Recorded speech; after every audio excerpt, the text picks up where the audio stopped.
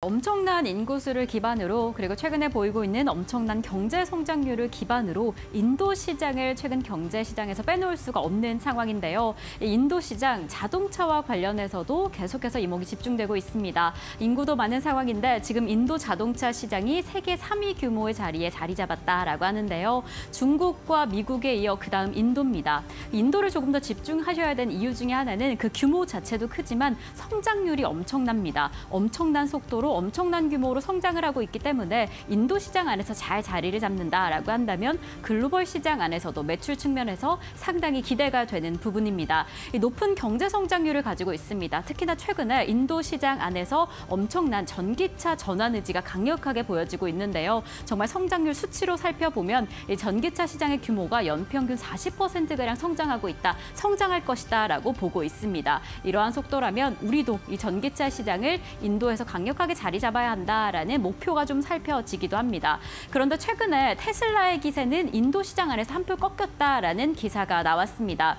지난달에 테슬라가 인도를 방문해서 현지와 공장 관련한 좀 이야기를 나누겠다라는 일정을 공개를 했는데 이 부분이 연기가 되었고 그 최근에는 인도 투자 계획 철회할 것이다라는 철회 전망이 더 강력하게 나온 상황입니다. 아무래도 인도는 인도 내에서 현지화된 구축이 잘 되어 있지 않으면 엄청난 관세를 물어야 하는데 지금 테슬라 테슬라의 작은 문제상 이 미래를 위한 투자를 하기에는 인도 시장에 확장을 하기에는 좀 무리다라는 측면이 확인이 되면서 인도 시장 투자에는 지금은 시기가 아닐 것이다라는 계획이 공개가 된 겁니다. 그렇다면 이 테슬라가 한풀 꺾였다라고 한다면 이 부분이 우리 시장 안에서는 기회가 되지 않을까라고 보여지고 있습니다. 아무래도 인도 시장 안에서 최근에 현대차, 현대차뿐만 아니라 기아의 두드러진 움직임이 확인이 되고 있습니다. 7일에 공개가 된 인도 승용차 소매 시장 통계에 따르면 이 현대차가 역대 상반기 최대 판매를 기록을 했습니다. 지난해 대비 2% 상승한 수치를 기록하기로 했고 현대차뿐만 아니라 기아차 역시나 인도 시장 안에서 강력한 상승세를 보이고 있습니다. 이러한 흐름을 두고 지금 인도 시장 안에서 기회의 땅 안에서 우리가 날개를 펼치고 있다라는 말이 나오고 있습니다. 기회의 땅 인도 시장 안에서 현대차가 날개를 달았다라는 이야기가 나오고 있는 건데 어떤 전략으로 잘 이어가고 있나 살펴본다면 이 현대차에서 특히나 대형 SUV SUV가 정말 잘 팔리고 있다라고 합니다. 크레타라고 불리우는 현지 전략 차종 역시나 잘 적중을 하게 되면서 전년 대비 11%가량의 증가세를 보이고 있고 SUV의 비중도 66%로 상당한 비중의 성장세를 보이고 있는 상황이고요. 그리고 인도 시장 안에서 전기차 확장에 대한 의지를 강력하게 밝힌 만큼 우리도 이에 발맞춘 전략을 이어가고 있습니다. 우리가 인도 시장 안에서 지난해부터 앞으로 10년간 3조 2,500억 원의 투자를 하겠다라는 결정을 내린 상황이었습니다. 상황이어서 우리나라가 생산을 잘 하게 될 뿐만 아니라 인프라 구축단에서도 좀 힘을 펼쳐보겠다라는 의지가 좀 강력하게 보여집니다. 그러면서 이제 2028년까지 총 6개의 전기차 모델을 투입하겠다라는 계획을 밝힌 상황이고요. 이렇게 전기차 충전소까지 대거 설치하게 되면서 인프라단에서도 강력한 연계 힘을 좀 펼쳐보겠다라는 의지가 보이고 있습니다. 그리고 지금 가장 기대가 되는 건 아무래도 현대 인도 법인 IPO가 아닐까 싶습니다. 현지 경쟁력까지 좀 기대를 해볼 수 있지 않을까 않을까, 원활한 자금 조달에 이어서 생산력까지 확충시킬 수 있지 않을까라는 긍정적인 전망이 보여지고 있습니다. 이렇게 인도 시장 안에서 힘을 내고 있는 현대, 그렇다면 지금 우리가 집중할 점은 아, 아무래도 실적이 아닐까 싶은데요.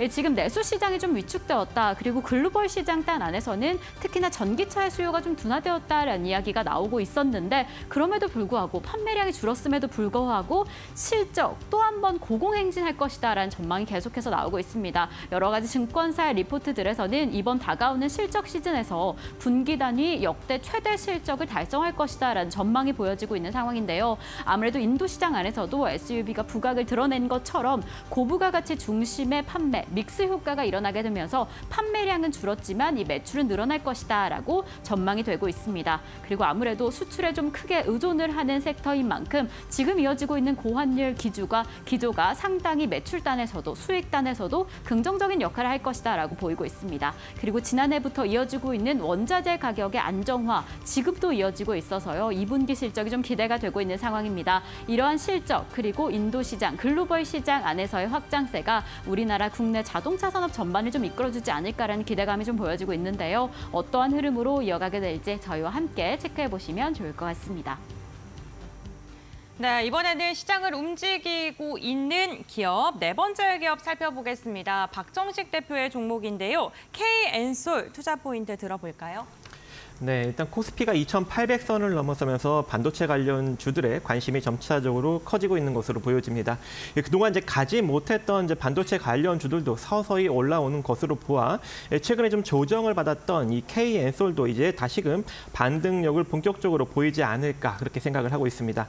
예, 반도체 디스플레이, 2차 전지, 바이오 등 이 미세 공정 필수 설비인 클린룸 전문 업체입니다. 그동안 이제 이 메모리를 만들고 있는 뭐 삼성전자나 SK 하이닉 하이닉스가 증설을 하지 않았기 때문에 이 실적이 그렇게 빠르게 증가하지 못했던 측면이 없지 않아 있으나 최근 들어서 이 일반 서버 교체 주기 도래 그리고 AI 서버 투자 확대, on-device 수요 확대로 2025년부터 이제 본격적으로 디램 수요가 증가될 것으로 보여지고 있고 대략 한 19% 정도 상승할 전망이라고 합니다. 그래서 2025년 이 디램 수요 증가에 발맞춰서 본격적으로 이제 SK 하이닉스와 이 삼성전자가 이 디램 디램을 이제 어, 디램 설비를 증설할 수 있는 가능성이 지금 커지고 있고 그런 계획도 현재 잡고 있다라고 밝히면서 어, 본격적으로 K엔솔도 이제 수급이 몰리지 않을까 생각을 하고 있습니다. 오늘 만 7, 7,190원 정도에서 움직이고 있는 그런 상황인데 현재 이 17,000원대 이하로 여러분들이 좀 분할 매수 관점 가시면 좋을 것 같고요. 손절 라인은 어, 전전일 양봉의 저, 시가인 어, 16,400원 정도 제시해 드리고 목표는 어, 18,300원 정도 제시해 드리는데 이 가격이 돌파가 된다면 이전 고점인 21,000원대로 넘어설 수 있는 가능성이 존재하기 때문에 혹여 이제 외국인과 기관이 지속적으로 매수를 해주면서 돌파를 한다면 조금 더 홀딩 관점 으로 방식으로 유지해 가셔도 좋지 않을까 생각을 해봅니다.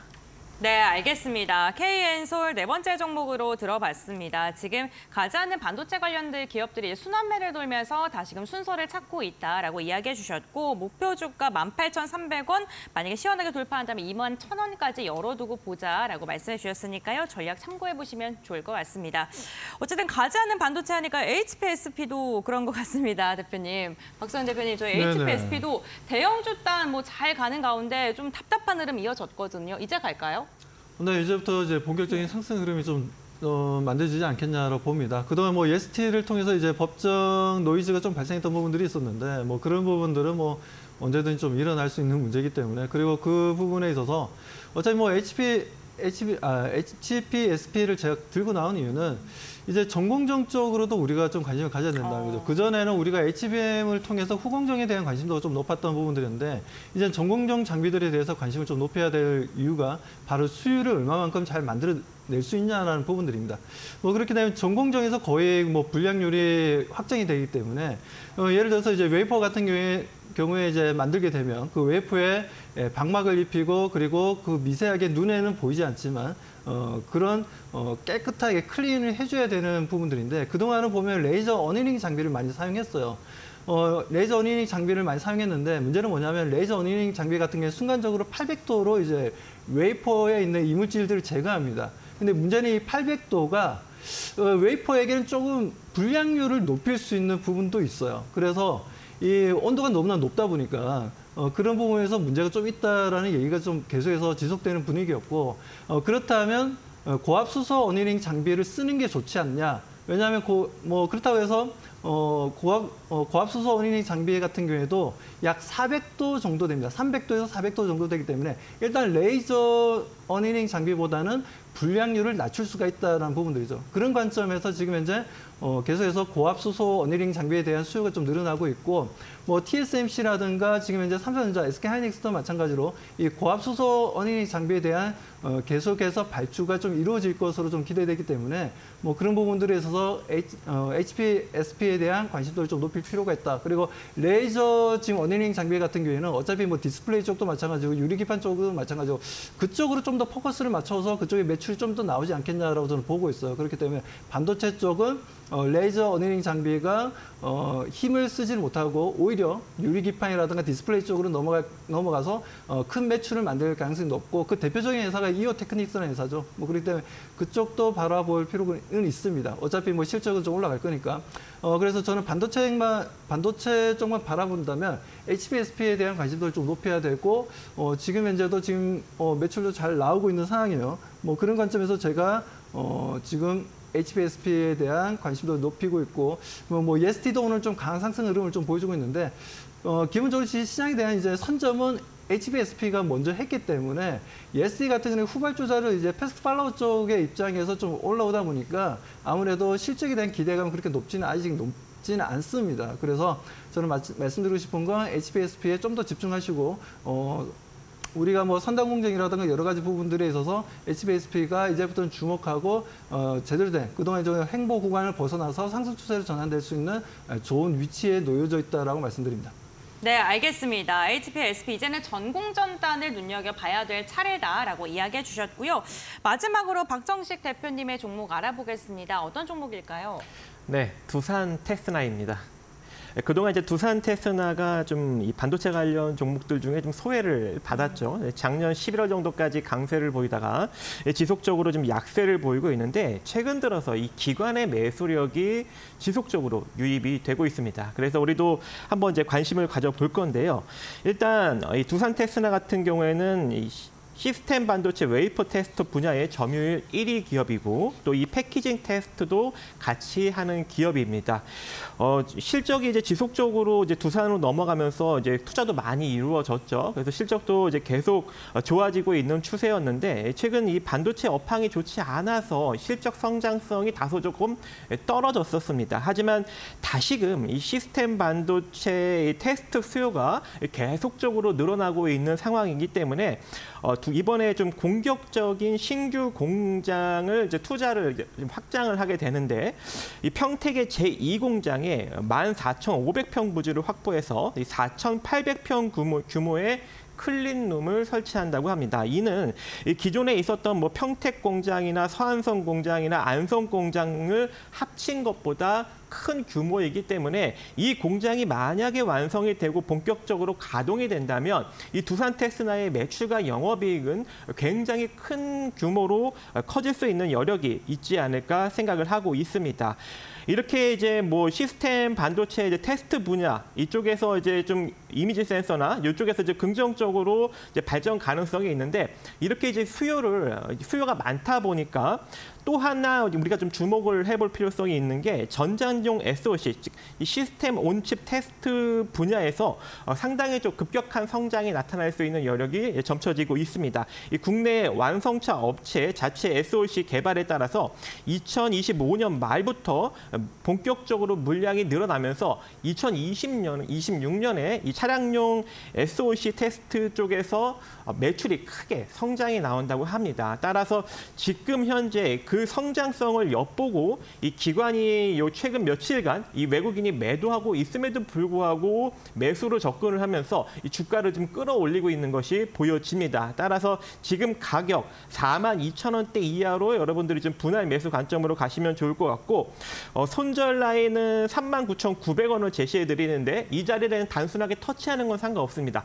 종가 기준으로 이탈만 하지 않는다면 지지받고 그대로 반등이 나올 수 있기 때문에 어, 종가 기준으로 이탈되자면 이탈, 이탈되지 않으면 그대로 홀딩 관점 가져가 보시고 어, 단기적으로는 한 4만 5,200원 정도 자리까지 바라볼 수 있는데 만약에 이제 이 자리를 돌파하게 된다면 외국인 수급까지 유입될 수 있는 여력이 매우 높거든요. 그래서 이 4만 5,300원 정도 부근에 외국인 매수력 까지 만약에 유입된다면 조금 더 홀딩 관점 유지해 가시면서 5만 원대까지 바라보시면 좋을 것 같습니다. 네, 알겠습니다. 두산 테스나까지 해서 저희 총 여섯 가지 종목 앞으로 시장을 움직일 종목들에 대해서 이야기 나눠봤습니다. 오늘 도움 말씀 주신 두 분과는 여기서 마무리하겠습니다. 고맙습니다. 네, 감사합니다.